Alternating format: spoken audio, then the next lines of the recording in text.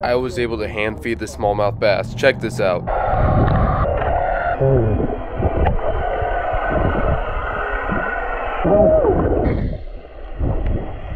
That's Molly's my friend.